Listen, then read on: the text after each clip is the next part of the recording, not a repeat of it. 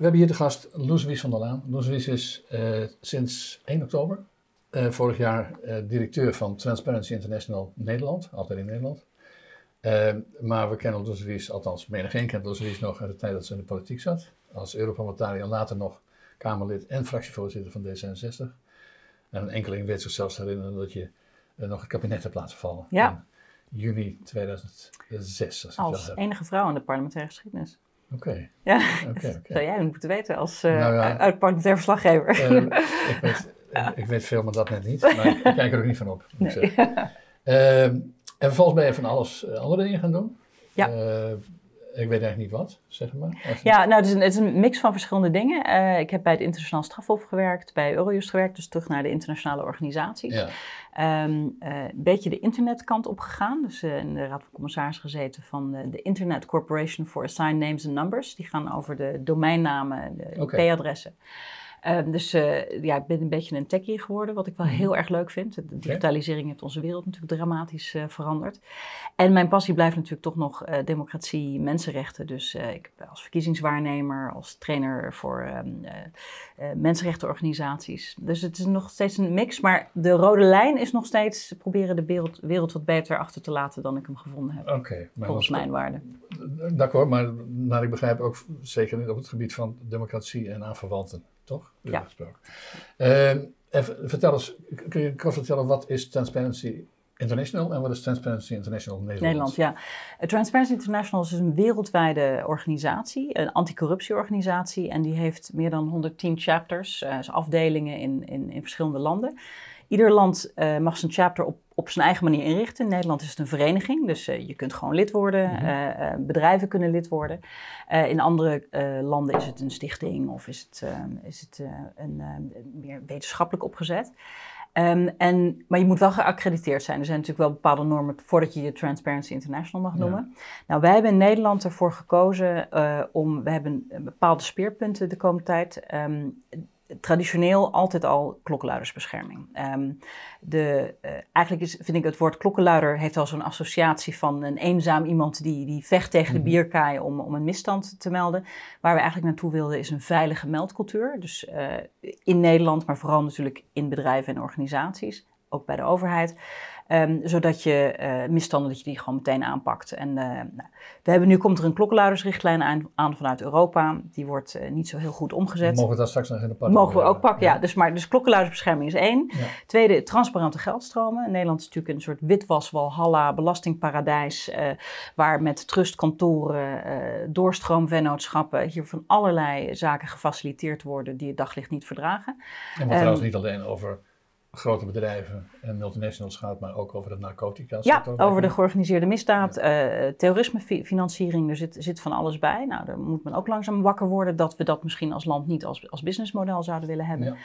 En het derde punt is politieke integriteit. Dan hebben we ons de, natuurlijk uh, richting de verkiezingen van de Tweede Kamer heel erg gericht op die Tweede Kamer. Ook een hele mooie website gemaakt, die heet integritywatch.nl. Mhm. Dat is heel leuk, dan kun je live kijken of, uh, of giften en nevenfuncties wel worden opgegeven. Hè? Dus als een um, uh, Thierry Baudet opeens uh, op televisie komt uh, dat hij een privévlucht heeft aangenomen naar Ibiza van de oprichter van Suit Supply, dan kun je even kijken, oh, heeft hij dat wel geregistreerd? Blijkt niet het geval te zijn. Mm -hmm.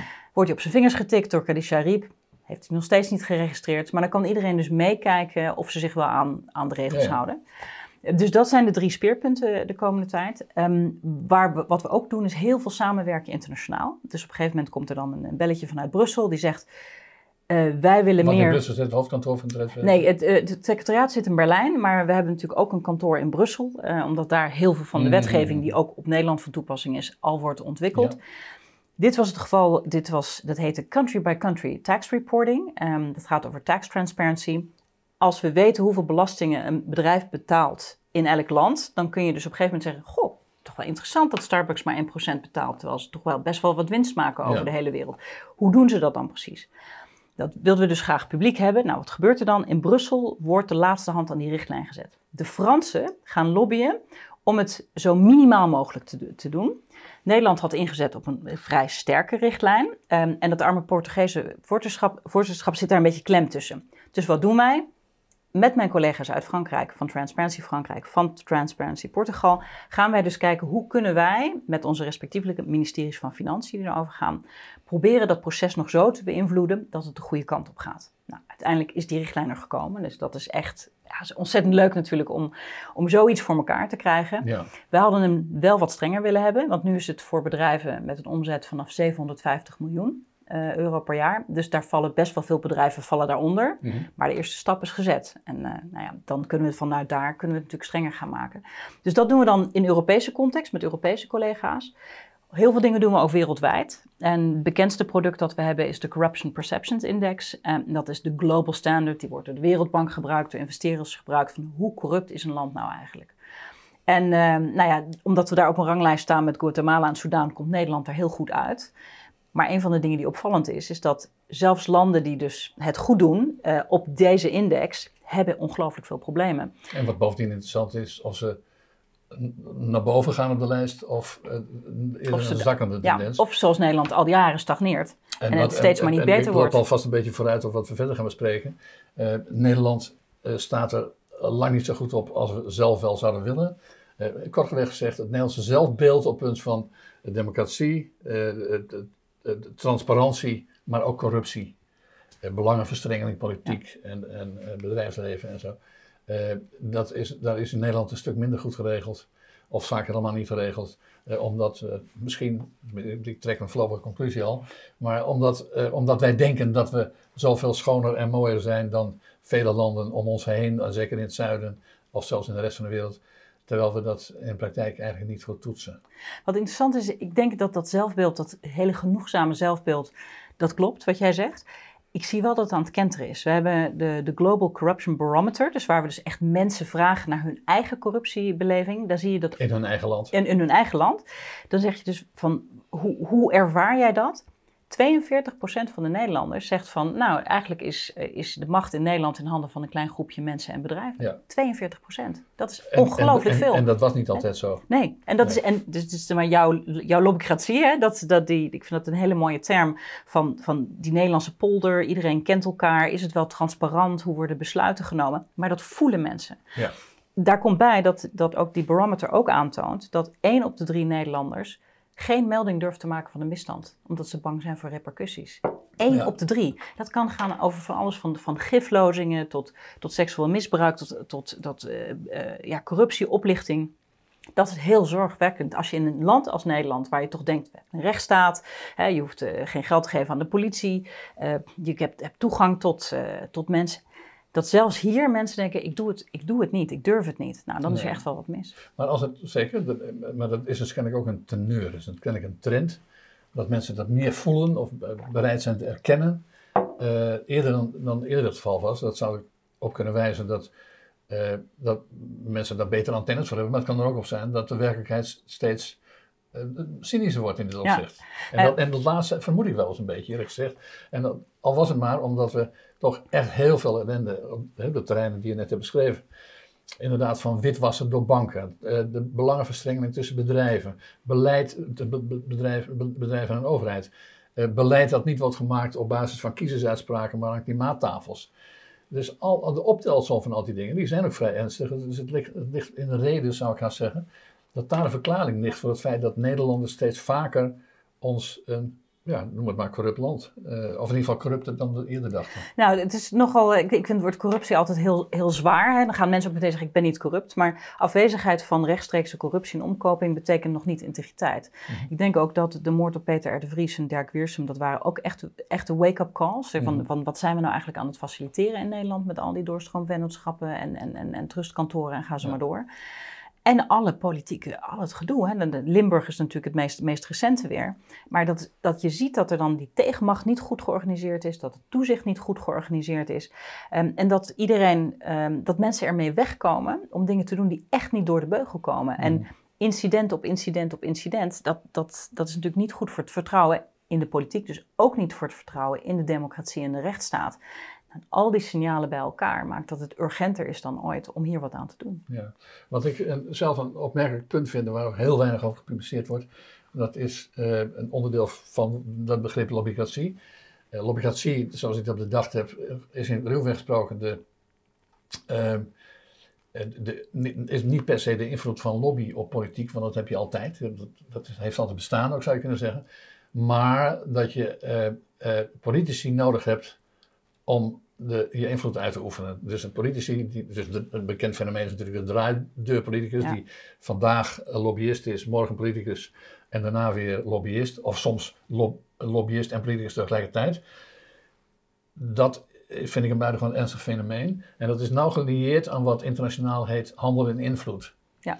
Nou, het begrip handel in invloed, dat wordt in Nederland zelf nog nooit besproken, maar uh, er is zelfs geen wikipagina over. Dat vond ik ook een hele interessante. Okay. Dat influence peddling bestaat in het Engels al wel. Het staat natuurlijk in allerlei internationale verdragen. En in Nederland hebben we dat een soort blinde vlek daarvoor. Nou, dat zou wel kunnen wijzen. Dat dat al zo lang bestaat en zo gewoon wordt gevonden.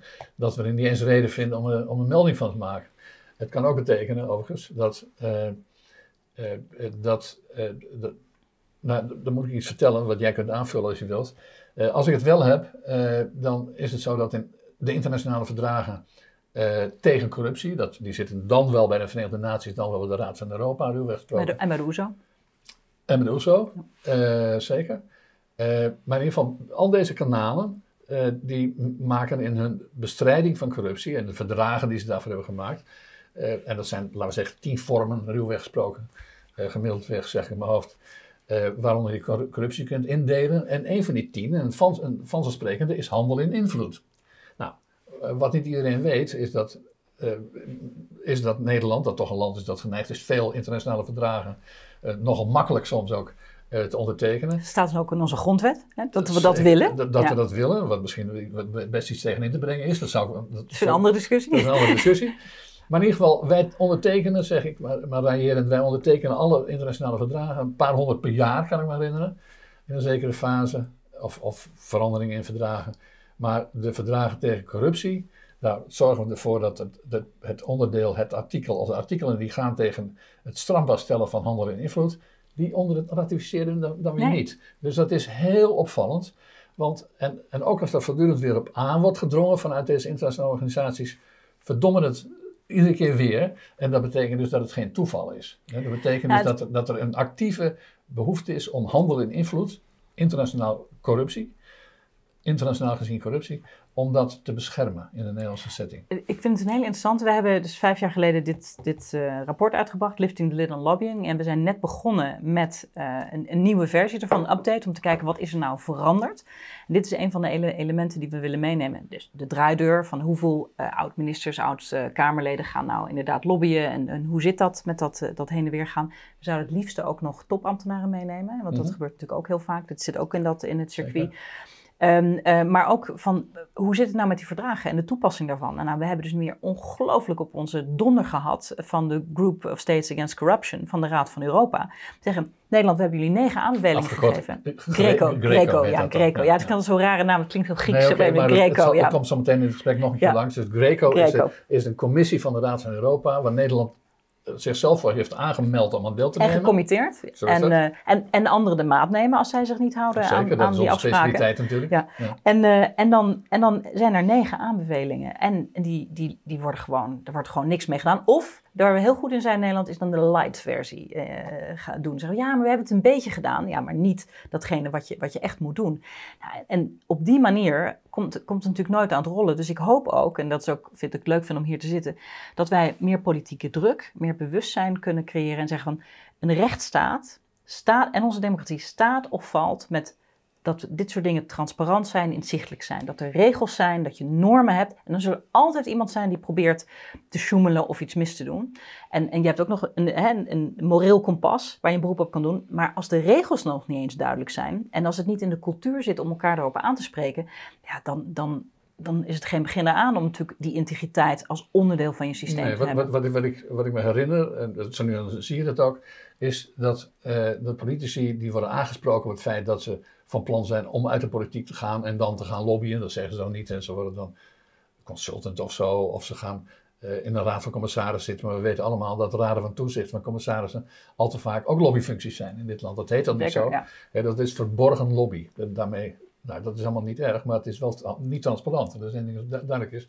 Maar wat zegt dan zo'n politicus? Die zegt van, uh, nee, maar ik kan zelf uh, heel goed beoordelen of, of ik dan immoreel ben of niet. Maar dat is natuurlijk waanzinnig. Dan op, op, die, op die grond kunnen we de hele, de hele strafwet ja. afschaffen omdat we allemaal zelf wel weten of we iets fout doen of niet. Ja. Wat, dus, wat interessant is, kijk, lobbyen, dat is gewoon belangrijk. Ik ben ook een lobbyist. Hè? Ik wil graag dat Nederland meer tegen wordt. En dan ga ik proberen daar, uh, daar wetten voor laten aan. Greenpeace, het COC, het ook allemaal, allemaal lobbyisten. Zeker iets minder geld dan Shell en Unilever en mensen die, die al die dure uh, kantoren inhuren. Maar oké, fijn. Dus, maar allemaal wat we willen. Maar ze zitten vaak allemaal ook aan die onderhandelings- en lobbytafels van de overheid. Dat, dus, dat, dat, is, dat is denk ik, er zijn een paar verschillen. Het eerste wat je natuurlijk moet hebben is een soort eerlijke toegang. Nou, een van de grote problemen vind ik in de Nederlandse politiek is dat Kamerleden geen mede, nauwelijks medewerkers hebben. Dus dat betekent dat je, je hebt dus te maken met een hele complexe wet. En dan kun je misschien maar een handjevol lobbyisten kun je spreken. Nou, dan moet je maar zelf gaan uitzoeken van, oké, doe je in het bedrijfsleven, iemand maatschappelijk middenveld, dan misschien nog een consumentenorganisatie of zo. En dan moet je daaruit proberen iets verstandigs te doen. Maar wat, wat zie je? Dus het is disproportioneel makkelijk voor grote bedrijven met veel geld om die toegang te krijgen. En dan moet dat Kamerlid moet daartussen schipperen. Dus zolang we dat niet goed regelen, dat, dat Kamerleden echt de rust, de ruimte en ook de resources krijgen mhm om uh, zelf die afwegingen te maken in onafhankelijkheid en niet als een soort loopjongens van een kabinet en dat ze zeggen, nou ja, wij zijn voor, want we zitten in de coalitie, maar echt hun taak serieus nemen. Ja, dan, dat, dat is het begin van alles, want anders dan kun je dingen, die lobbyisten wel gaan reguleren, maar dan waar het terecht komt, komt het ook weer niet goed terecht. Of ja, dus nu de situatie dat diverse lobbyisten met diverse etiketten op uh, zich melden bij een Kamerlid. Maar de, de nog ergere eh, variant in mijn optiek uh, is dat die, de lobbyist van Shell en de lobbyist van Greenpeace onderling al de deal hebben gemaakt. En die door het kabinet is afgestempeld en de Kamerlid echt helemaal niks hoeft uit te zoeken. Want nou, Greenpeace kennende is dat, is dat, uh, dat redelijk ver Nee, nee, dat heeft zich Met Greenpeace? In diverse fases zelfs. Okay. Dat heeft zich volgens twee concrete voorbeelden. De, de energie, het energieakkoord van 2013. Mm -hmm. Uh, is op wezenlijke punten een onderlinge deal tussen Greenpeace en VNO-NCW. Eh, het, uh, het gloeilampverbod, het Europese gloeilampverbod, is een belangrijk lobbysucces van Philips in samenwerking met, de, met Greenpeace en anderen. Dus dat, dat is trouwens... Soms kunnen ze elkaar natuurlijk vinden, dat, dat mag ja, ook op nee, inhoud. Maar sterker nog, zeker in de, in de poldercultuur in Nederland, waar we, dat is een vorm van corporatisme uiteindelijk, als je daar als ogenschijnlijke tegenpolen een deal weten maken, uh, dan, uh, dan heb je eigenlijk verder. Uh, dan, denk je al heel snel, dan zal het goed zijn. Ja. dus je ziet het trouwens bij de kabinetsformatie die nu gaande is, in zekere mate hetzelfde. Dat dan in, in een relatief vroeg stadium, terwijl de kabinetsformatie nog nauwelijks gaande was, er al een sociaal akkoord was over, ik dacht, dat was ik weer, nou, een sociaal akkoord. Waarom doet nou VNO-NCW, dus de werkgeversclub en de FNV, de, de, de vakbond, gaan die zo'n akkoord maken, omdat zij weten dat ze zelfs wettelijke rechten hebben op het maken van beleid als ze het onderling eens zijn. Dus hun macht is groter als ze onderling niet oneens zijn, ja. dat ik zo zeg. Ik vind, wat ik heel bizar vind aan, ik ben natuurlijk in het buitenland opgegroeid, dus dan kijk je op een bepaalde manier naar Nederland. Wat ik heel bizar vind aan de Nederlandse, het hele formatiegebeuren, is dat er eigenlijk als het ware gewacht wordt tot er een regering is om die dan te gaan controleren. Maar zeg maar, mhm. je hebt al een mandaat van de kiezer. En dan, en dan is er eigenlijk maar één, één democratisch moment. Dat is namelijk het moment dat het regeerakkoord wordt gemaakt. En vier jaar lang zit je er eigenlijk aan vast. Nou ja, en, en nou, de, de zeker als het zo'n telefoonboek is waar alles is, is, is dichtgetimmerd. Dus in feite komt erop neer dat in de, in de formatiefase uh, zijn is een merendeel van de Kamerleden uh, dus niet betrokken bij het proces. Sterker nog, een deel daarvan zal pas in de Tweede Kamer komen als de ministers die wel betrokken zijn, althans voor een deel wel betrokken zijn in het formatieproces, eh, weer naar het kabinet zijn verhuisd. Eh, dus dat zijn Kamerleden die niet betrokken zijn geweest bij het, formatie, bij het regeerakkoord. Die hooguit een half uur hebben gehad daaromtrent om gratuit iets te mogen zeggen. En vervolgens daar is het uh, zitten ze vier jaar lang in de gevangenis die regeerakkoord heet.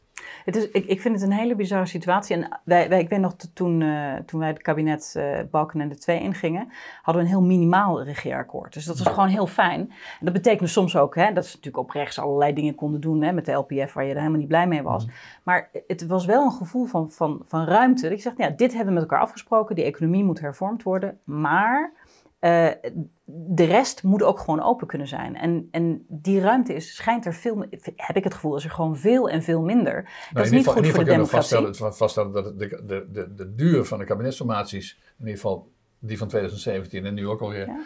dat die eindeloos is. En dat je moet vrezen dat de, de, de, het vastgetimmerde regeerakkoord ook navenant uh, dikker uh, gaat worden. Dus ja, en, zijn, en er zijn maar weinig Kamerleden die nu die ruimte nemen die er nu is. Want je hebt natuurlijk alle vrijheid om nu iedere motie aan te nemen om het demissionaire kabinet opdrachten te geven. Nou, het gebeurde wel met bijvoorbeeld de Oeigoeren-situatie mm -hmm. als genocide te erkennen. Dus af en toe gebeurt er wel iets.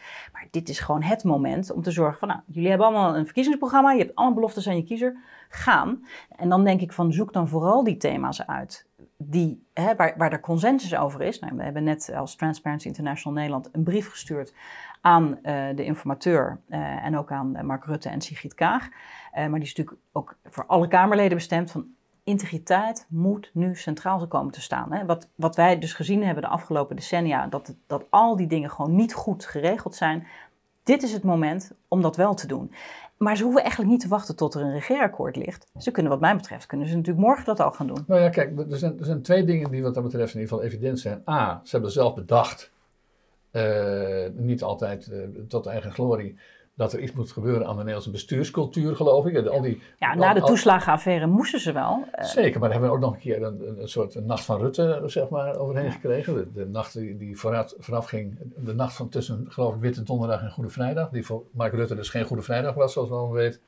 Maar in ieder geval, dat leidde dus tot, tot een, een, een, van Nederland tamelijk uh, bizarre, maar misschien ook wel fris, verfrissende, dat weet ik nog niet. Maar in ieder geval, begrippen als bestuurscultuur en transparantie, die waren plotseling begin van dit jaar uh, populair ja. uh, aan het Binnenhof. Zwaar even, even hot, maar ik heb het gevoel dat het weer ongelooflijk afgekoeld is. Want je hoort er niks meer over. Dat vrees ik ook.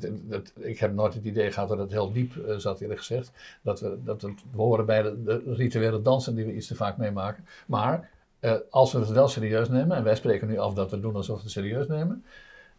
dan zeggen we, dan is dat, als jullie vinden dat je een bestuurscultuurprobleem hebt, dan liggen er allemaal internationale rapporten. En die trouwens ook die van Transparency International. Ik kan zelf nog een paar bijdragen leveren. En ook nationale rapporten van de Rekenkamer, van de Ombudsman, van de Raad van State. Zeker, maar in, maar in een land dat, dat vaak zo gevoelig is voor zijn internationale aanzien. En minister-president die voortdurend roept, we staan bovenaan in alle lijstjes van concurrentie en weet ik wat.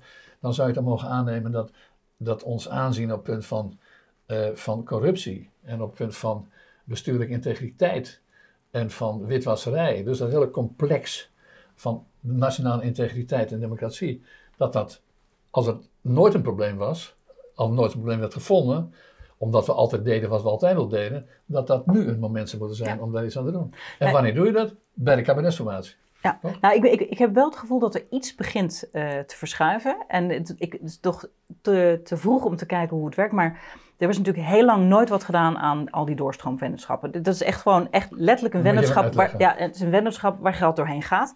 Meestal is dat zo omdat je dan, als het even in Nederland is geweest, eh, dat je dan kunt zeggen, oh, we zijn de Europese Unie, hebben belasting betaald of weet ik wat, om dan ergens anders op de Bahama's, op de Cayman-eilanden. Maar dat is onze rol als belastingparadijs. Ja, dat is onze rol. En, en heel veel van die constructen die worden gebruikt voor belastingontduiking, worden ook gebruikt voor witwassen. Want het, het gaat natuurlijk allemaal om uh, dat je niet kan achterhalen van wie het eigenlijk is. Het gaat om die Ultimate Beneficial Ownership, de UBO. We hebben natuurlijk een UBO-register. Probeer maar eens te achterhalen uh, dat, dat uh, achter dat trustkantoor en, en dat BV'tje en dat EV en dat op de Bahama's en daar in de Filipijnen en ga ze maar door. En dan moet zo'n zo openbaar ministerie, die moet dan allemaal gaan proberen te doen. En die moet dan bellen met die collega's in de Filipijnen en zeggen van kunnen jullie achterhalen wie zus of zo. Nou, dus, ze doen het expres schimmig zullen ook zeker eerlijk bij zitten. Is de Nederlandse overheid? Dus, nou, de, nee, de, dus die, die hele... Die hele die, de, overheid die faciliteert dit? Die, die, sterker nog, het is een businessmodel. Ja. Hè? Dus, dus men, men zegt... Want er wordt weinig belasting betaald door, door die firma's, maar dat kleine beetje het, dat ze betalen geven ze aan ons. En, en, en er zit niet zo heel veel economische activiteit achter. Maar nu, want nu gaat het over het goede nieuws natuurlijk, van begint er wat te veranderen. In de eerste plaats heeft staatssecretaris Velbrief heeft gezegd ik wil dat het onderzocht wordt, die, eh, die doorstroomvennootschappen. Nou, er komt op een gegeven moment komt er een rapport uit. Ik ga ervan uit dat het niet anders kan zijn dan van jongens, dit wordt wel heel, voor heel veel slechte dingen gebruikt. Hier moeten we wat aan doen. En uh, minister Hoekstra heeft uh, met betrekking tot de trustsector, heeft nu een brief naar de Kamer geschreven waarin buitengewoon diplomatieke ambtelijke taal staat. Het wordt voor, voor, voor niet, niet altijd voor goede doeleinden gebruikt. En we moeten er zo over nadenken of we dit eigenlijk wel willen. Dus ik zie hier wel een kentering. Maar dat komt, en lijkt mij, want ik heb het vol, valt niet iedere dag, maar dat de afspraak binnen de OESO, dus de, de westerse industrielanden, zal ik maar zeggen die hebben een vrij spectaculaire afspraak gemaakt, een paar maanden, nou zeggen, een week of vijf geleden, om, uh, dan zeg het zelf maar. Wat, over onder leiding van de Amerikanen, over, om alles om het inzichtelijk te maken en de belastingtransparantie. precies. Ja, ja nou, dat is een hele mooie stap vooruit.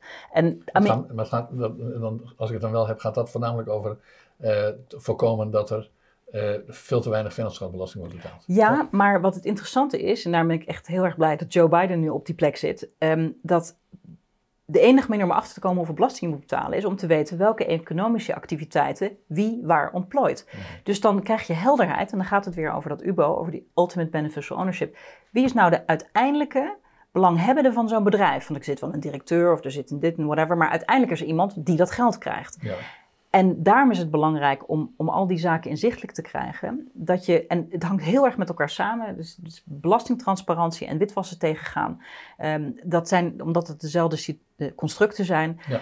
Dus als je het ene aanpakt, dan Zowel de legale economie als uh, wat wij legaal vinden. De legale economie als de, de zwarte economie kan allebei, kunnen allebei van onderzichtige constructies gebruik maken. En, en wat er ook is, je kunt ook legaal geld naar illegale doeleinden brengen, zoals uh, gewoon, gewoon winsten van je bedrijf naar, aan terroristen geven. Je kunt illegale opbrengsten van uh, drugs, uh, die moet je witwassen, dus dat moet dan legaal worden. En dan heb je gewoon legale zaken die op zich legaal, uiteindelijk legaal blijven, maar waar er heel weinig belasting wordt betaald en waar het allemaal niet duidelijk is van wie het is en, en waar het naartoe gaat. Nou, wij hebben het dus allemaal onder het noemen transparante geldstromen. Dat is het doel. Dus we willen het transparant en inzichtelijk maken op zich is die belasting aanpakken is niet onze core business. Dat doen Tax Justice Network. Maar wij werken heel veel met ze samen. En nu ook mm. over die tax transparency. Omdat het aan al die andere zaken raakt. Met die georganiseerde criminaliteit. Die heel veel gebruik maken van corruptie. Volgens Europol 80% van de georganiseerde misdaad in Europa maakt gebruik van corruptie. Um, dus daar zijn bedrijven die zijn daar de dupe van. Er zijn samenlevingen zijn daar de dupe van. Nou ja, we hadden laatst weer een, een, een. Er is al een vergismoord geweest hoe meer ruimte je hebt voor georganiseerde misdaad om je samenleving uh, in te komen. En nog los van al, die, die bloemkwekers die doodsbang zijn als ze cocaïne vinden om er iets van te zeggen, omdat je dan, dan weer wekenlang bedreigd wordt. Of vissers die geen kans hebben om zelf maar te, uh, om, om, om de, de, macro, de, de, de narcostaat te ontwijken. Ja. Dus het, is, het, het, het, doet echt wat met je samenleving als, jij, als je dit blijft faciliteren. Maar je kunt dus zeggen, dat, uh, want daar komen we via deze bocht dan terecht uh, dat de, het verwijt, je zal het ook herinneren, dat eind jaren negentig uh, de, de Franse regering was, de Franse senator, maar ook de Franse president Chirac toen, die uh, Nederland betitelde tot narco-staat, wat we allemaal vreselijk vonden en echt als, als onzin afdeden. dat gaandeweg zelfs aan het Binnenhof men bereid is te erkennen dat die narco-staat, dus de omvang van de illegale drugseconomie, uh, met al zijn ondermijning van de rechtsstaat erbij, dat die zo giga is, dat je daarmee kunt spreken van het corrumperen van de Nederlandse staat, de Nederlandse economie, de Nederlandse samenleving. Ja. Maar, maar dat, die erkenning, die, uh, dat Hij was heel laat. Dat werd hoog tijd. Ik weet niet eens of het al zo ver is als we ja. concluderen. Ik, ik denk dat jij wat verder bent en, en wij zien dat ook, maar, maar je, ziet het met name op het lokale niveau. We zijn nu richting de uh, gemeenteraadsverkiezingen van maart zijn we in contact, uh, werken we samen met gemeentes. Dus ook met politieke partijen die natuurlijk aan kandidaatscreening willen doen. Uh, zeker een nieuwe partij zoals Volt, die moeten hun hele lijst vol krijgen. Nou, hoe zorg je dat je niet allemaal rare figuren op die lijst krijgt? Mhm. Maar je spreekt ook dus met gemeentes. En die burgemeesters, die weten echt wel hoe laat het is. Die hebben dat elke dag, maken ze dat in hun gemeente mee. Sommigen worden bedreigd. En anders, eh, hoe maak je ambtenaren, hoe maak je hele bestuur weerbaar? Maar niet tot de vezels van de zorgen. hè? Dus we hebben het over het wereldwijde zorgen met het klimaat, bijvoorbeeld. Ja. Maar we hebben het niet over onze specifieke zorgen In, in Nederland. Nee, en, en een van de dingen, en dat vind ik een hele interessante, is we, we zijn natuurlijk in Nederland heel erg trots op onze, eh, ehm, ja, hoe tolerant we zijn tegenover drugs. En een beetje, we zijn hier in Amsterdam, en je loopt langs hoe, weet ik hoeveel coffeeshops. Maar we moeten ons, niet, ons wel realiseren dat iedereen die zijn lijntje cocaïne legt, iedereen die zijn pilletje neemt op een festival, en, zolang, en, en, en die, die, die- ook die wiet die wordt illegaal aangepakt, dat is allemaal onderdeel van een crimineel systeem, Mhm. eh, waardoor uiteindelijk Peter R. de Vries vermoord wordt. Zeker, maar er bestaat een neiging om te zeggen van eh, geef het dan vrij of eh, grotendeels vrij, eh, want dat lost alle problemen op. Nou, dat in de paradijselijke wereld is er wellicht denkbaar, maar voorlopig zitten we in de, in de concrete, praktische wereld die luidt dat we met verboden drugs zitten. En daar hebben we trouwens weer met diezelfde internationale verdragen, heeft Nederland zich daar gekoppeld. Eh, dus al die mensen met die vrije paradijselijke ideeën over het vrijgeven van drugs, dan zeg ik altijd tegen, dat zou misschien kunnen en misschien is het fantastisch om dat te doen, maar in de werkelijkheid waarin wij leven, betekent dat als wij drugs vrijgeven. Maar dat kan sowieso, en- kan, en- zou en- Nederland dat niet in zijn eentje kunnen doen. Nee, maar, als dat, maar mocht het Ja. al gebeuren, mocht je dat al willen, en in zekere mate hebben we met gedoogbeleid natuurlijk wel ook nog gedaan ook, dan hebben we kunnen vaststellen in de praktijk al dat het naar ons toe trekt, al die Ja, corrumperende nee, dat- handel. ja. En dat om die reden eh, tot, is dat, laten we zo zeggen, we hebben al een probleem. En het probleem maak je toch eerder groter als je nog meer gaat gedogen en vrijgeven. En dan heb ik het niet over het ideologische aspect of die drugs Ja, allemaal verbo- verboden moeten zijn. Nou, ik ga natuurlijk niet, of Transparency International Nederland gaat niet over drugs wel of niet legaliseren. Nee, maar, maar, je kunt wel gewoon, maar, maar- maar je wat je- kunt wel effecten ja, eh, wat, nou ja, wat, je- wat je ziet is dat eh, de situatie die we nu hebben, is gewoon buitengewoon gevaarlijk. Eh, voor, voor je samenleving, voor je bestuur, voor je rechtsstaat, voor je democratie. Eh, en, en daar moet echt een, een deltaplan opgezet worden. Eh, een, een heel groot actieplan. Nou, je ziet dat eh, voor ondermijning, hè, dat Grapperhaus heeft ook ongelooflijk veel geld gekregen Mhm. om te proberen daar te helpen. Nou, ik heb had een ontzettend leuk gesprek met de gemeente, die heeft daar geld voor gekregen. Fantastisch. Alleen die zeggen ja, en volgend jaar is het geld op. En dan? Ja. Wat, kun, wat kunnen we dan nog doen? En dit is niet iets wat je eenmalig... Je kunt niet zeggen van oké, nu hebben we een weerbare gemeente... en nu kan hier nooit meer in- ondermijning Maar- als- plaatsvinden. Als, je, als je mijn redenering van zo net zou volgen, die luidt dat de criminaliteit, de misdaad die wij in Nederland hebben gerelateerd aan narcotica, aan, aan verboden drugs, die is in, in, in ieder geval in belangrijke mate gerelateerd aan het feit dat wij daar soepeler in zijn dan andere landen, waardoor het aantrekkelijker is een misdaad om hier te zijn. Dus je zou kunnen zeggen, dat zou in ieder geval een, een plan kunnen zijn, wij moeten niet aantrekkelijker zijn voor een misdaad dan andere landen. dan dat buren. ja, nou ja, ik denk dat hier wel echt een opdracht ligt om te kijken wat werkt nou echt. Eh, maar dat je als Nederland niet eh, een soort ja, centrum wilt zijn van de internationale handel in narcotica eh, en, en ook nog eens een keer een witwascentrum. dat, dat lijkt mij logisch, dat niemand dat, dat, dat moet willen. En dan kan ik voorstellen dat de politiek de meningen over hoe je dat moet aanvliegen uit elkaar kunnen lopen. Maar ik voel niet eens die urgentie op het moment om het echt aan te Nee, pakken. en ik vrees eerlijk gezegd dat dat ook een beetje komt, omdat we traditioneel het drugsbeleid eh, beoordelen of eh, aan de hand van de gezondheids- of veronderstelde gezondheidsvoor- en nadelen Mhm. Ja. hebben beoordeeld. En nooit naar de ondermijning de- van de rechtsstaat, Ja. nooit naar liquidaties en, en maffia en ondermijning van de samenleving, omdat alleen maar de veronderstelde, eh, eh, laten we zeggen, een zekere soepelheid van het beleid verondersteld werd goed te zijn voor de gezondheid. Hm. Maar, maar dat is dus geen integrale aanpak. Nee. Dat is Nee, maar het moet, precies, en, dat, en dat moet dus nu wel, wel gaan gebeuren. Ja. En dat zie je dus ook op, op gemeentes die zeggen van, ja, die vinden het, waar ze bijvoorbeeld mee worstelen, heel concreet. Dus je gaat naar een gezin toe eh, in het kader van de, van de wet maatschappelijke ondersteuning. Hè. Je wilt weten wat voor ondersteuning heb je nodig. Ondertussen merk je dat het een komen en gaan is en je ruikt iets boven wietplantage en zo. Wat moet je dan doen? Moet je dat gaan melden bij de gemeente? Ja, je bent gemeenteambtenaar, ze zeggen van wel. Maar wat doet dat met jouw veiligheid?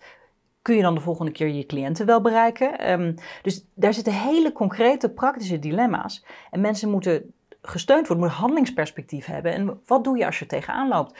Ehm, er zijn nu al eh, nee, eh, middelbare schoolkinderen die worden benaderd om drugsrunner te worden. Mhm. En als je denkt, nou, ik heb toch geen toekomstperspectief en ik wil ook wel eens een keer een, eh, een, een gave sportauto hebben.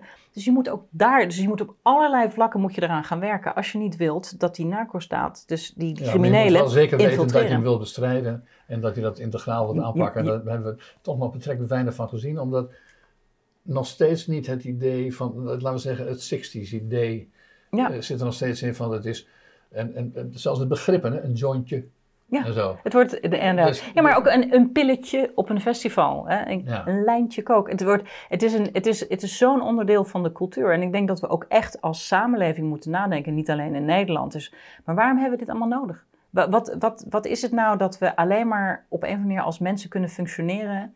Ik, natuurlijk, als je eh, hard hebt gewerkt en je neemt een glaasje wijn na het, na het werk, kun je ook zeggen dat dat is. Dat, ik- maar dat is legaal. Mm. En daarmee faciliteer je niet allerlei criminaliteit. Ehm, dus je moet echt goed over nadenken en mensen ook elkaar aanspreken. Hè, Dat zeg ik wel tegen mensen. Oké, leuk, je bent lid van Transparency International. Heb je wel eens tegen iemand gezegd eh, van, realiseer je wel wat je doet? Mhm. En dat, dat is best wel moeilijk, omdat we dan Ja. toch hebben vrijheid, blijheid, eh, moet kunnen. We zijn toch zo tolerant. Maar er moet nu echt een rechtstreekse koppeling worden gemaakt tussen dat pilletje op dat festival en die moord op Peter R. de Vries. En ik zeg dat heel hard, maar dat doe ik expres. Mhm. Het, het, het- dus een enkel politicus eh, zet het in binnenhoofd tegenwoordig ook. Hè, dat het, eh, dat de, de consument een verantwoordelijkheid draagt. Ja. De burger als consument. Maar dat is ook zo. En daar moeten mensen ook over nadenken. Ja. Nee, we, doen dat ook als het gaat om klimaat en andere dingen. En, en kleding die gemaakt is in Bangladesh. Uiteindelijk is het natuurlijk de consument die, die beslist waar, waar, waar het aanbod Ja. vandaan komt.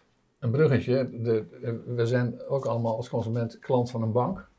Eh, ook hier lijkt het niet echt door te dringen tot, tot ons, tot het politieke circuit. Dat, eh, dat alle grote Nederlandse, banken, en niet alleen die misschien, veroordeeld zijn voor witwassen. En grootschalig. En, en, en andere onvolkomenheden die bij bedragen van al met al in de miljarden Ja. afgedragen zijn. Het, het, is, het, het haalt amper de voorpagina. Eh, en het lijkt wel alsof we dat niet, eh, alsof we dat een soort, als een soort kinderziekte of eh, wordt het, die dingen gebeuren nou eenmaal. Nou, ik, ik heb ook daar het gevoel dat dingen beginnen te veranderen. En wat zeker de voorpagina heeft gehaald wereldwijd, is dat bij ING, die hadden natuurlijk al een schikking gemaakt over een witwaszaak. ja. Maar dat toen afgedwongen is door Pieter Lakenman via een Mhm, artikel mhm, 12-procedure, strafvordingprocedure. Dat, Dat, is zoals dat, Transparency International is er eentje. dus, eh, ja, dus de- dit soort actievoerders heb ik wel bewondering voor. Mensen die dan echt. eh, die, maar dat is Ralf Hamers individueel vervolgd eh, gaat worden. Nou, en, en dat is nog nooit vertoond. En, en dat is natuurlijk wel de manier waarop je echt een cultuuromslag kan hebben. Dat Ja. als bestuurders zich realiseren. want misschien heeft niet iedereen die ja. dit ziet het allemaal meegekregen, maar eh, als je iets doet wat niet mag, dan kom je van de rechter en dan ga je de bak in of iets anders. Eh, en naarmate het erger is, krijg je een ergere straf. Maar grote bedrijven, en specifiek de banken, die hebben het allemaal afgekocht. Die hebben, uiteindelijk. gewoon- die, hebben, ja. die hebben over hun eigen straf kunnen onderhandelen. Met het, met het, en dat- dat ging wel van grote bedragen. Maar het bedrijf hebben kunnen afkopen. En, daar wijs je nu op, eh, de, de, de verantwoordelijke functionarissen, met name die aan de top van het bedrijf, die gingen in een Nederlandse setting uit. Dat is helemaal niet vanzelfsprekend. Maar in Amerika zijn ze gewoon de bak in gegaan en zo. Eh, en de baas van ING, die trouwens nu naar de Zwitserse bank overgegaan is, maar die heeft nu, wordt nu achtervolgd door het feit dat hij wel degelijk Ja. eh, persoonlijk wordt eh, En, en dat is voor het eerst. En daar, dus daar ook, ook een verandering. Ook bij de witwaszaak van ABN AMRO is dat Ja. nu ook gaat dat gebeuren. En wat, kijk, uiteindelijk natuurlijk zat Ralf Hamers niet eens eens zeggen, hup, witwassen daar. Dat, dat, maar het gaat over het systeem waar je voor verantwoordelijk bent. Eh, en, en dat je dus zorgt dat het toezicht werkt. En het is ook ongelooflijk complex. Eh, en en ik, heb, ik geef wel eens ehm, eh, lezingen over integriteit. En dat gebeurt ook wel eens bij banken. En, en je ziet dat er ongelooflijk veel mensen zijn die dat heel graag goed willen doen. ehm, heel veel werk van maken. Maar de vraag is natuurlijk of het systeem klopt. En het is heel erg ingewikkeld om het te Nou, en doen. rechtsgelijkheid is ook een punt natuurlijk. Waarom kan de een over zijn eigen schuldigheid en zijn eigen maat van schuldigheid en zijn eigen straf met, met, de, met de rechter onderhandelen? Dat, komt niet eens met de rechter, dat blijft hangen bij het Openbaar Ministerie Ja. notabene. Dat is, Waar- dat, is totale rechtsongelijkheid. Waarbij ik wel het Openbaar Ministerie begrijp. Die hebben daar, moet ik zeggen, worden ook dus heel, heel- steeds transparanter in waarom ze dat op die manier doen. Het is heel moeilijk om dit soort zaken rond te krijgen. Ja, ik- dus dat ik- zij een ik- schikking treffen. Ik ben best bereid daar Ja. ook heel ver in mee te gaan in het begrip. Maar voor de burgers van dit land Ja. is het niet te verkopen. eh, hoe handig het eventueel ook is en hoe lucratief het wellicht voor de staat ook om deze deals te Ja. maken, is het niet te verkopen dat er een verschil bestaat in behandeling van de ene burger en de andere. Maar dat, maar dat zie je natuurlijk op ieder niveau. Mensen die zich niet aan coronaregels houden, terwijl iedere minister, of ze gaan schaatsen, of ze gaan niet hun, hun test afwachten, of ze gaan trouwen, of ze gaan naar de kerk. Weet je, als, als, als de mensen in die posities niet het goede voorbeeld geven, waarom zou dan eh, zeg maar, de gewone, gewone man nog zeggen van, oh, dan laat ik het dan, dan wel doen. Ja. Het heeft ook te maken met hoe je, eh, wat je uitstraalt. eh, en uh, welke verantwoordelijkheid je zelf neemt. Dus dat morele kompas. En ik, daar moet je wat hogere eisen stellen aan je politici, aan je CEO's. Uh, daar verwachten we dat van. Of daar moeten we het eigenlijk van eisen. Dan kom ik weer even weer terug bij het handelen in invloed. Bij handelen in invloed, dan, dan betekent dat, dat in feite komt erop neer je, dat er mensen zijn die toegang hebben tot de macht. En die laten zich betalen om anderen toegang te verschaffen tot die macht. Dat is ruwweg, dat betekent dat je twee soorten mensen hebt in Nederland. Namelijk mensen die uh, toegang hebben tot de macht of anderen toegang verschaffen tot de macht. En de rest van Nederland die toegang tot de macht niet heeft. Dat, is, dat, is natuurlijk, dat, dat raakt alles wat de rechtsstaat ja. en de democratie hoe het, het raakt in die zin. Ja. En, Waarbij ik wel even een kleine kanttekening is dat het is in Nederland wel makkelijker dan in heel veel andere landen. He, want je, je kunt in Nederland kun je een politicus op straat aanspreken, je kunt een e-mailtje sturen, soms wordt ze zelfs gelezen, krijg je niet alleen maar een automatic reply. Dus het is in Nederland niet onmogelijk om nee, die maar, toegang tot de macht te hebben. Maar ik, ik heb het over effectieve toegang tot de ja, macht, nou ja, dus leidt het ook ergens toe. Nee, en, en, en, dan, en dan zijn er, dan zijn er, dat, er zijn, er gaan er weg ook wat, wat onderzoekjes. Nou, wie, wie, waar praten ambtenaren, topambtenaren, ministers wel mee? Nou, grote bedrijven hebben toegang. Maar goed, we, we zien ook dat, dat allerlei uh, ideële organisaties wel degelijk toegang hebben. Of gewoon aan, de, aan de onderhandelingstafels mee, mee vergaderen. Maar in ieder geval, wat een vaste lijn daarin is, dat de plaats van de burger daar steeds bleker in is geworden. En misschien was die altijd al bleek. Uh, in ieder geval past dat naar mijn idee niet in de moderne. Uh, nou ja, ik, ik, formuleer het verkeerd, want in talloze opzichten zijn de democratische tendensen helemaal niet zo gunstig in de wereld en in specifieke landen ook. Maar laten we zo zeggen, het, uh, als we de laatste herziening van ons democratisch bestel 100 jaar geleden hadden, uh, dan zijn we niet in alle opzichten vooruit gegaan. Laat ik het ja. zo formuleren. Dat is een heel deftig geformuleerd, mag ik wel zeggen. De manier, de manier waarop ik het uh, probeer altijd visueel te maken, is je hebt dus een almachtige overheid. Hoeveel macht die heeft, hebben we gezien in de toeslagenaffaire. Ze ja. kunnen je gewoon uh, financieel kapot maken op allerlei vlakken. Dat, ja, ja. Dus, en daar is ook niet van terug, weten we. Ja. ja. Nou ja, dus dat, dus dat is één. Dus echt een machtsblok. Daarnaast heb je het machtsblok bedrijfsleven. Ongelooflijk veel geld en invloed en lobbyisten en, en, en ga zo maar door ook gigantisch. Nou, dan zit hier die burger. Wie staat er dan aan de kant van de burger? Nou, dat zijn NGO's, zoals wij, zoals de Consumentenbond, zoals Amnesty. Dat zijn journalisten, vooral onderzoeksjournalisten en de mensen van Follow the Money. Uh, alle kranten die, die, die berichten over, over uh, die proberen de zaak maar eerlijk te houden en transparant te houden de rechtelijke macht, uh, waar, waar het kan. Maar ja, de toeslagenaffaire helaas uh, gefaald. laten zien uh, dat, dat, de rechterlijke ja. macht ook aan de kant van de overheid kan staan. De, de hoge colleges van staat, hè, de ombudsman en de rekenkamer. Um, en dan hopelijk de politiek. Hè? De politiek die, die die geluiden uit die samenleving kan nemen. En die kan zorgen dat die macht van het bedrijfsleven aan banden wordt gelegd. Dat die overheid gecontroleerd wordt. Maar ik heb het gevoel dat dit gewoon nog echt zo klein is. En dat het heel moeilijk is om daar echt een balans in te vinden. En, en daar moeten we dus al die onderdelen van, van dat derde blok, dat moet eigenlijk gelijkwaardig, zodat je het echt de tegenmacht hebt. Dus gewoon juist wetgeving en regulering ja. uh, en een overheid die ook realiseert dat er een imbalans is en die veel meer een level playing field creëert. En dat is op dit moment niet aan de hand. Nee, en dan kom ik, en dat zal ik misschien nog blijven doen, weer terug op dat thema van die handel en invloed. Dus nogmaals, dat is een vorm van corruptie die in Nederland, in mijn beleving en misschien ook die van jou, in ruime mate bestaat, maar niet strafbaar is gesteld, terwijl dat wel de opdracht is van de internationale verdragen op dit punt. Dus wij, uh, die handel in invloed, dat betekent bijvoorbeeld dat, uh, dat een, een, politicus die kan probleemloos vandaag minister zijn van Economische Zaken en morgen allerlei commissariaten en andere lobbyfuncties aannemen. En dan belt hij zijn opvolger en zegt, hey, kun je dit regelen? Ja, of, die, of die vriend van hem die de topambtenaar was, waar die ook eindeloos mee... Dus dat is, dat is handel in invloed, dat is duidelijk. Uh, in, in, een, in een opzichtige vorm doet zich het ook voor in de Eerste Kamer. We kijken, een Tweede Kamerlid wordt niet geacht, ergens nog, uh, nou zeker een minister wordt niet geacht. Uh, nog allemaal nevenfuncties te hebben en neveninkomsten, precies, ja. Precies, ja. Maar, maar in de Eerste Kamer, toch ook een deel van de volksvertegenwoordiging, daar is het standaard De Eerste Kamer is de nevenfunctie, dus ze hebben ja, natuurlijk allemaal... Nog, ik, ik, ik, ik weet uit goede bron dat een lobbyist, een politiek, iemand die minister is geweest, of Kamerlid, of wethouder, of burgemeester en die daarnaast ook nog een Eerste Kamerfunctie bij weten te arrangeren, dat die gewoon een opslag krijgt, als het ware, een soort bonus krijgt op zijn, op zijn lobbyistensalaris, een lobbyisteninkomen. Uh, en nou, als we dan weten dat, dat, dat fractievoorzitters van, van regeringspartijen of potentiële regeringspartijen bijna allemaal lobbyisten zijn en toplobbyisten zijn. Er zijn, aantal, er zijn concrete voorbeelden van te geven Uh, anders zegt, hun werk is lobbyist. En ze doen het volksvertegenwoordiger, uh, het politiek zijn, doen ze erbij. Uh, en, en dat vinden we normaal. Ja. Terwijl, terwijl dat dus naar internationale maatstaven strafbare belangenverstrengeling is. Wat, wat interessant is dat het, uh, de Eerste Kamer heeft pas sinds 2019 een gedragscode. Zeker. Uh, de Tweede Kamer kwam, kwam daarna. Is dit nog en steeds het niet enige wat er zijn, er zijn dus maar een paar dingen die echt verboden zijn. En een daarvan is bijvoorbeeld dat je mag niet rechter en Eerste Kamerlid tegelijkertijd Nee. zijn. Maar dan laat je nogal wat andere dingen laat je, Zeker. laat je eens open.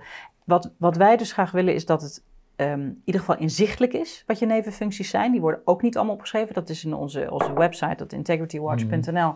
Dan zie je dat dus, en nog nu niet eens duidelijk is eh, of ze er geld mee verdienen. Want dat is ook een belangrijke. Als jij in, in, eh, in lokale, in de, weet ik, bij de hockeyclub in het bestuur zit Mm. en dan doe je liefdewerk uit papier, dat is, dat is eh, het dus geen enkel probleem. over. Het gaat natuurlijk om hoeveel word jij betaald. Ja. omdat jij van de onderwijskoepel bent, of omdat jij van VNO-NCW, of omdat je dit of dat. En, en, desnoods, en word- en bedrijven. desnoods word je niet eens betaald. Ik bedoel, ik, maar als je in belang handelt van een firma die in zijn optreden sterk afhankelijk is van het overheidsoptreden en in het belang van die firma eh, de belangen enzovoort. Ja. Nee, je ziet het, eh, je ruikt het.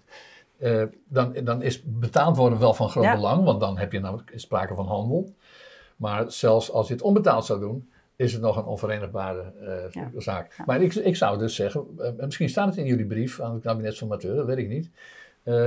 dat, informateur moet ik zeggen, kabinetsformatie, dat gewoon de normale eisen die gesteld worden in de internationale verdragen, Internationale normen. ga gewoon de handel en invloed Ja. strafbaar maken, waardoor niet al die politici eh, meer, eh, zoals er dus het geval was, eh, eh, aan belangenverstrengeling doen. En dan komt er nog iets bij, dat is de partijfinanciering. En wat Ja. het, daar hebben we natuurlijk nu ook weer een staaltje gezien van dat je denkt, van, dit is wel echt wel heel bijzonder. Eh, hoe dat, ja, ik zie ook dat de tijd eh, dringt, maar ik dacht ik wel eventjes... Het, Ik dacht, ja, nee, want, want dat, dat vind ik. Er is, er is een wet op de partijfinanciering waar er gewoon nog heel veel dingen niet geregeld zijn in Nederland. En dat je dus Maar zeker. Misschien is het goed om even de, de voorbeelden Ja. van dit voorjaar te melden. We hebben de Tweede Kamerverkiezing Ja. gehad, 17 maart. En, eh, en voor een deel na die, en voor een deel voor, maar een ander deel na die eh, Tweede Kamerverkiezing bleek dat in ieder geval partijen als eh, de D66 en CDA en op andere Partij voor de Dieren ook, en VVD. Ja. eh, grote bedragen hebben ontvangen van, van soms maar enkele personen. En dat in een aantal gevallen ook zichtbaar was dat iemand daar iets voor terug wilde. De Ja. een die wilde meer klimaatbeleid en de ander die had specifieke eh, verlangens die hem zelf te goede kwamen. ja, inderdaad. Bij het CDA in, het geval van het CDA. Nou ja, dat is, dat, dat, dat, we dat, zelfs daar is niet eens echt grote schande. Ik verbaas me erover. Als dit in, bij de Belgen zou gebeuren of bij de Italianen Dan zouden zeggen we zeggen... Bananenrepubliek. Ja, precies. Maar, dit, maar dit, is, dit, is, dit is een soort standaard situatie in Nederland die we niet eens gek vinden kennelijk. Ja. En het is een, het, wat interessant is, is dat de wetgeving is nog niet eens helder. Dus je kunt op vrij makkelijke manier kun je zorgen dat je via allerlei constructies, dat je wat geld geeft hier en daar, eh, dat het niet eens te achterhalen is van wie het komt. Nou, daar willen we sowieso een einde aan Ja. maken. Wat ook interessant is, is dat, dat eh, eh, het, eh, D66 en Partij voor de Dieren melden die giften meteen. Eh, maar er is een soort cut-off point. Eén keer per jaar moet je dat publiceren. En die, dat CDA-gift kwam daarna. Dus we hadden het zelfs, als het niet naar buiten was gekomen, eh, door Pieter Omtzigt, hadden we dus nooit geweten, hadden we pas over een jaar geweten dat dit gebeurd was. Nou, probeer dan maar de reconstructie te maken. Nou, wat dat betreft is Pieter Omtzigt dus ook een soort klokkenluider in zijn eigen partij, of zijn voormalige partij nu. Ja. Ehm, maar dat je, hoe, hoe kan het nou dat, je- dat je nog steeds geen heldere regels hebt? Dat als er een gift van een miljoen wordt gegeven, net voordat bekend wordt wie de lijsttrekker is, het partijprogramma wordt vastgesteld, dat we daar pas een jaar, wettelijk gezien pas een jaar later achter zullen Waarbij ik komen. het ook nog opvallend vind is dat al die partijen die altijd prat gaan op hun morele, eh, eh, hoge moral high ground en, eh, en hun idealen, dat die het voorkomen normaal vinden om hier met de kiezer en de moraliteit te omzeilen. Hè? Dus, dat, eh, dus dat, dat wijst niet op een, een, op een consistentie, Ja. consistent idee. Maar, maar, wat- maar, het is, weer- het is weer dat moreel. maar het is weer dat idee van, ja, maar ik laat me toch niet omkopen. En als iemand een gift geeft, dan Zo beïnvloedt zijn mij wij dat niet. niet. Zo zijn we niet. dat en andere mensen ja. doen het en in andere landen iedereen, dat. iedereen heeft blindelings vertrouwen in zijn eigen morele eh, kompas. Ja. En, en bre- brengt dat met overtuiging. Maar we zien al zo vaak voorbeelden van waar het misgaat. En degene die het het laatste ziet, is degene die, die er middenin zit. En daarom hebben we regels nodig. Daarom hebben we toezicht nodig. Daarom kun- hebben we en dat kun je- transparantie En dat kun je nodig. niet laten, laten hangen op de individuele de, de, de, de fantastische ruggengraat, morele ruggengraat van een individuele politicus. Nee, dat kan niet. En het is ook moeilijk in de, in de politieke cultuur om elkaar daarop aan te spreken. Dat, dat merk je dus ook, dat het toch iets is van ja, maar dat, dat zal toch wel goed zijn en je kent al elkaar. En dan komt dat, dat Nederlandse gepolder. En ook, we zijn natuurlijk een klein land waarin veel mensen elkaar kennen.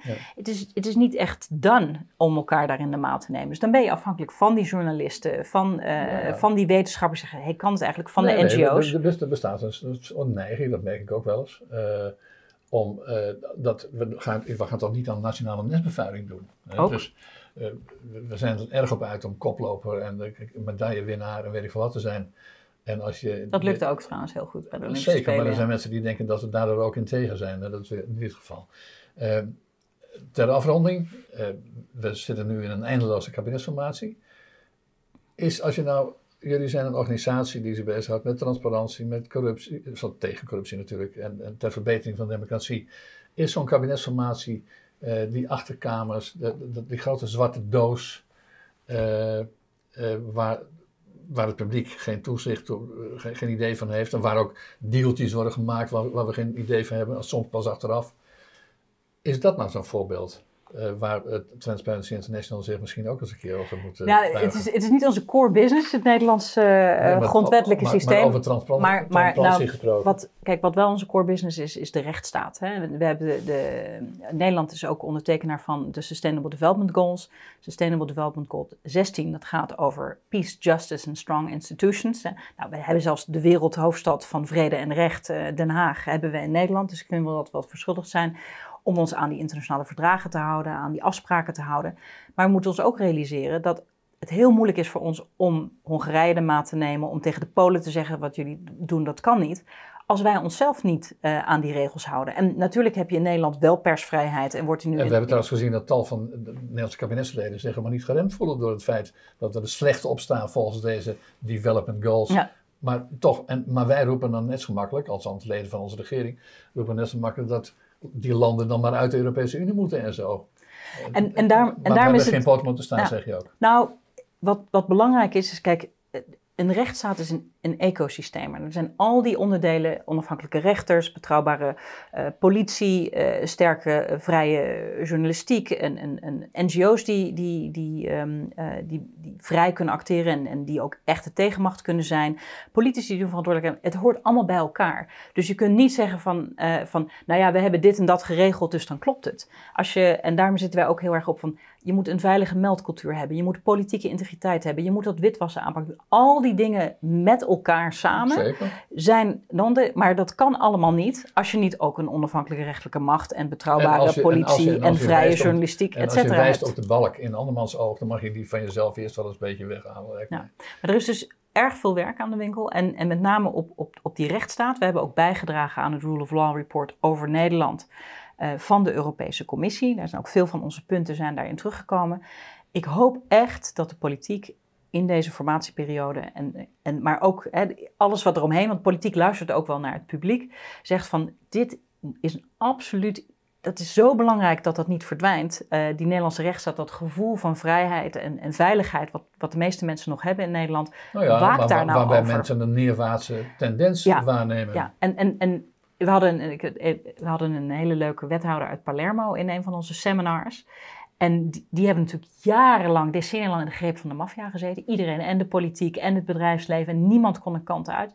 Die hebben dat uiteindelijk, door twintig jaar keihard te werken, hebben ze dat, dat om, om weten te turnen.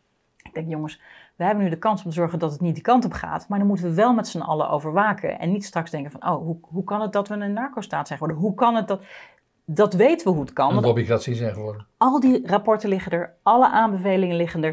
Er zijn genoeg mensen die weten wat ze moeten doen, maar nu moet de politieke wil ontstaan om het ook echt daadwerkelijk door te zetten. Nou, het, uh, lijkt bijna een sluiting, een afsluitwoord van de politica. ja. Dankjewel. Graag gedaan.